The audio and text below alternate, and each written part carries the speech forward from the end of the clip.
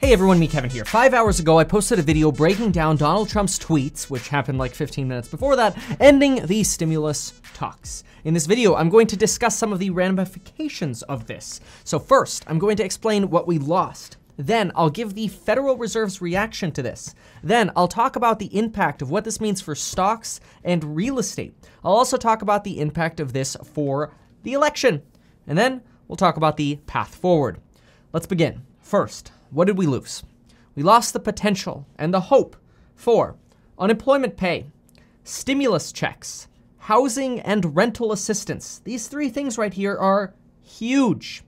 School and student assistance, liability protections, airline aid, post office aid, state and local funding, testing, tracing, treatment aid, vaccine aid, PPP funding for small businesses, EIDL money for small businesses, Medicaid or COBRA for uninsured workers, no additional restaurant money, no airport money.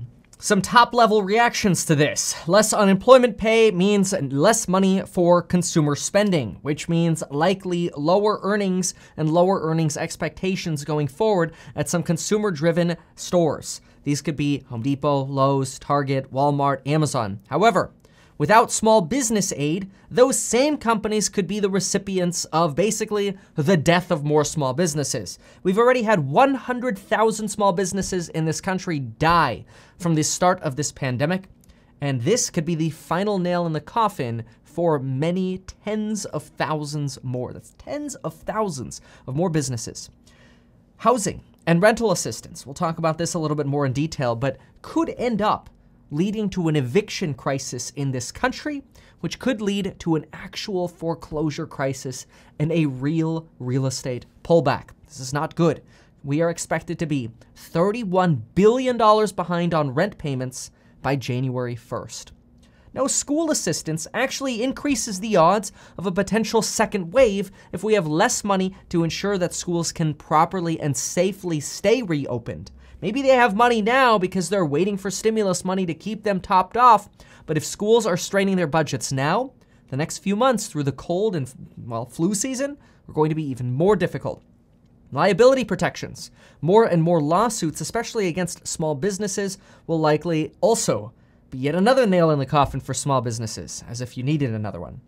The airline industry will furlough tens of thousands of workers. Less money for the post office means slow and lost mail is likely to continue. Less or no state and local funding means potentially more layoffs of first responders and people who work in our local governments. No money or additional money for testing means that when the White House and other organizations rely on testing, like Stephen Miller, who gets tested five days in a row negative and then on day six tests positive for COVID, means we're stuck with the same lame tests that we have now. Testing is not reliable in this country. No EIDL or PPP money means yet another nail in the coffin for small businesses. And when businesses now lay off workers, they won't get the Medicaid or COBRA that these stimulus negotiations would have promised for their health insurance, which means if you're unemployed, there go your benefits as well. No restaurant money so there go tens of thousands of more restaurants. No airport money, which means dilapidated airports, now with even less revenue coming in from the airlines, continue to decay. Loretta Mester, a president of one of the banks, the Cleveland Bank of the Federal Reserve, has the following to say Our recovery will now be much slower. The timing of the stimulus package is actually less important than the presence of a stimulus package, aka whether it happens this week or next week or in a month doesn't matter so much. But now that we hear we might not see a stimulus package until January, it's not good. Remember, Donald Trump says if he gets reelected, he'll do another stimulus package, but let's be real, he won't get control of the House if, let's say, Demo- or if Republicans swept everything. Republicans got the House, the Senate, and the presidency. He won't have power to do anything until late in January, when the next Congress is in session and his next term begins. Furthermore, Loretta Mester says that she built a stimulus package into her forecast for the future growth of our economy. And so have multiple other board members at the Federal Reserve. This means when the Federal Reserve says we're going to have low interest rates and low inflation through 2025, and it's probably going to take through the end of 2023 for us to get to low unemployment again. Well, those numbers might now just get kicked down the road even longer. It's going to take longer to get to lower unemployment levels. And we're going to have less inflation for longer, which means we have to retool our investment strategies for an even longer outlook. She further goes on to say that she's disappointed we didn't get a package. She says we're still in a pretty big hole. People and households need help. 11 million people are still out of work. We only got half of people their jobs back. People still need to be on unemployment, except those checks will now be substantially smaller. She is disappointed that monetary and fiscal policies and, uh, well, organizations came in strong at the beginning. But then the only thing that kept pushing through was the Federal Reserve, and Congress basically went on recess. She also says that without money for contact tracing or more social distance education or mask education or money for just straight up vaccines to bail us out of this, means we'll be in this pandemic even longer. So now if we start putting together some of the puzzle pieces here, some of the things that we can expect. First, more bankruptcies in small businesses. Small businesses are probably not going to be the place to invest going forward. Real estate well, real estate's going to be an interesting one. See, the housing market in general might actually benefit from a lack of stimulus. This this sounds crazy, but listen to this just for a moment. The housing market in general, and then I want to get to the specifics about evictions because we've got a very serious problem here. The housing market in general might actually benefit from a lack of a stimulus plan because a stimulus plan was associated with, uh oh, more money printing means we'll probably see more inflation. And when we have a greater expectation for higher inflation, we tend to see higher inflation. Expectations play funny tricks on the overall market uh, and, and inflation rates. So if we now expect no stimulus package, then it's likely we're going to see low inflation for years longer which means rates will stay low for years longer. And we're more likely to see this housing market boom continue and rates continue to trend downward, which makes real estate more affordable. And remember, every 1% that interest rates fall, prices tend to go up 10%. The big thing that's been happening over the last 10 years in real estate as to why prices have been going up is because interest rates have been going straight down. Pretty much, with the exception of 2018 when the Federal Reserve's like, let's raise rates. And now they're like, ooh, shouldn't have done that. If anything, that's going to keep rates low even longer, the memory of what happened in 2018. So that's one part of the housing market. In general, the housing market actually benefits from another stimulus package. The reality is, many buyers of homes these days aren't necessarily relying on stimulus packages. The people relying on stimulus are the people most hurt right now retail, hospitality, entertainment, restaurants, small businesses. They're not in a position generally to be able to afford homes right now, anyway. So, uh, on that side, the housing market can actually continue to just do well. However, we have this nasty hammer that might drop. That's kind of uh, floating above our heads called the eviction crisis. And when that hammer drops, it's gonna suck. See, the next stimulus package was going to bail out the tenants who are way behind on rent. These are tenants who haven't been able to pay rent because they've lost their jobs in retail hospitality or whatever it might be. Well, their hopes of now catching up have just been minimized. And when the eviction ban ends at the end of this year, we're going to see a flood of evictions. By current estimates, we could see as many as 12 million households be evicted. That's over 30 to 40 million people and if a third of those evictions actually go through, we could potentially see 4 million households evicted. 4 million households evicted. And if even just half of those put their houses up on the market, we would see a boost to housing market inventory by 2 million, which would be about a 28% increase in the amount of available houses on the market. Now, it's unclear how much a big boost of inventory like that is actually going to drag prices down, because rates are trending down. And when rates are trending down, you might see prices go up 10% a year. Oh, but now we got a flood of inventory and that takes prices down, say 10% a year. That might cancel out. Certainly, a lot more inventory will slow the housing market recovery, but it's not 100% clear how severe the eviction crisis will be. But the more severe it is, the more likely it is we'll see real estate prices slowly start getting depressed. Could be a time to buy at the beginning of next year when we start seeing evictions, though my heart goes out for everybody in the situation where they might be in a place where they have to move. Oh, and quick note, if you want a fun way to find deals in real estate, go to metkevin.com slash deals or click the link down below for Deal Machine. I've partnered with Deal Machine to get you some extra free credits so you can send free follow-ups to fixer-uppers in your neighborhood. Deal Machine is an awesome software and I'm personally going hardcore on using this software over the next two years. When it comes to stocks, my expectations are that the stocks that I hold in the 1337 portfolio, which you could see at metkevin.com slash 1337V11, are going to continue to be power player stocks. These are stocks like Tesla, Amazon, Apple, Redfin, Etsy. Take a look at these stocks. These stocks, while they might see fewer sales in the short term because of a lack of stimulus, and our economy might be drawn out a little longer, the growth in our economy might be drawn out a little longer.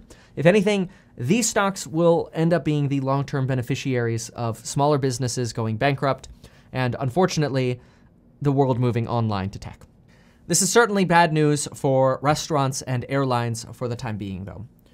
Regarding the election, I'm personally surprised that Donald Trump who just Saturday said, let's get a deal done, and who a few weeks ago said, let's come up on price, just get a deal done. All the money goes back to the American people anyway, just get something done. I'm personally surprised that Donald Trump would call off negotiations the way he did. Apparently, he was on a phone call with Mitch McConnell and other Republican leaders. And Mitch McConnell said that Pelosi was stringing him along and no deal she cut with Mnuchin could pass the Senate. McConnell said that we were never going to put a $2 trillion bill on the floor anyway. Pelosi doesn't want to go below that. And therefore, McConnell wants to instead focus on just assigning somebody and confirming somebody to that Supreme Court seat. And as a result, Donald Trump ended that phone call and promptly let everybody know via Twitter that stimulus talks were over. Treasury Secretary Mnuchin and Nancy Pelosi ended up talking by phone briefly just to verify that this was indeed the case. And yes, it is indeed the case. Stimulus talks are over thanks to Donald Trump ending those stimulus talks. Donald Trump says that he will pass a massive package when he is reelected. Unfortunately, like I mentioned earlier, I don't think he'll have the power to do this until at least January because he would have to convince the House to vote with him. Remember, the House, even after the election, there's still that lame duck period where you still have Nancy Pelosi in charge of the House which is the same thing you have right now. Mitch McConnell in charge of the Senate. No, nothing changes until January. The election won't really take effect until January, in other words. Now, part of me believes that Donald Trump is doing this to punish Nancy Pelosi and to suggest that Nancy Pelosi is just trying to bail out blue states. And I'm saying that because he literally said that in his tweet. But I think we all know as consumers and voters and individuals that Republicans were willing to give state and local governments $250 billion. Democrats were asking for $417 billion. We're talking about less than a $200 billion difference here. That's it. $200 billion. And they blow up the entire package because of less than 10% of a difference. To me, it's surprising that Donald Trump would do this because Donald Trump is in charge. And generally, the party who is in charge ends up taking the blame for a failure to get a deal done. Not always, but usually, and so therefore I'm a little bit surprised. The Problem Solvers Caucus has come out and said that America's families and America's small businesses are hurting and cannot afford any more delays, especially when a deal is within reach. We cannot overstate how important it is to get a deal done. Inaction is not an option. Joe Biden came out and said Trump ended talks that would get help for our businesses, schools, for our families struggling, and for those unemployed. That would have preserved hundreds of thousands of jobs. But Donald Trump decided today that none of that matters to him. Pelosi asked, Are these the steroids talking? and said Trump has a real disdain for science. Democrats have a scientific plan to crush the virus. Some Republican aides even were shocked and didn't see this coming. Now, this isn't all just to bag on Donald Trump, even though that was a lot of kind of negative on Donald Trump, mostly because I think everybody's kind of scratching their heads like, dude, what are you doing, man? And that's just real, no matter which side you're on. I think all sides right now are like, okay, maybe he's got some tricks up his sleeves. So we have two paths forward. Maybe, maybe Donald Trump actually takes over negotiations. I don't know if that's going to happen. Donald Trump might be a little too proud to do that. But if Donald Trump cut everyone out, got rid of Mnuchin, got rid of Meadows, and he finally picked up the phone and talked to Pelosi directly. Maybe a deal could happen that way. However, right now, while that path is possible, and maybe it's part of Donald Trump's greater strategy, who knows? Maybe Pelosi will even call Donald Trump directly and say, hey, can we make a deal? Can we still make this happen? That's possible.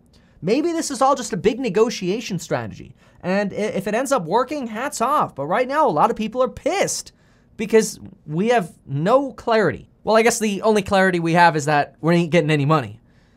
I guess that's pretty clear. But the other possible way forward is unfortunately waiting to the negotiations that will occur on December 12th. By December 12th, the government's budget will expire again, which means we'll be at another fiscal cliff where if we go over the cliff on December 12th without a budget deal, the government's funding will run out. And that's it. Boom. No money for the government. We go into another government shutdown. Democrats believe there might be a way to include stimulus negotiations into that. But that's not good because December 12th is a long ways away. Right now it is October 6th. We've got over two months and a week before December 12th. The election will have happened by then, and thousands of more people will have been laid off, lost their jobs, unable to pay their bills, and gotten significantly more behind on rent, and will have less money for the testing, tracing, and treatment that we need to end this freaking pandemic. I'm sick and tired of being in at home. But what does this mean going forward? What am I going to do going forward? Well, in my opinion, I'm going to continue to purchase on weekdays. Today was a weekday. As soon as this news came out, I went in and talked to all of my course members, especially those in the money course. I notified all of you and I said, folks, I'm buying. And these were the things I'm buying. I said exactly which options I was buying, what stocks I was buying. This is very normal. But in addition to ramping up my purchases of my favorite tech stocks, 1337 portfolio, you can get an overview on.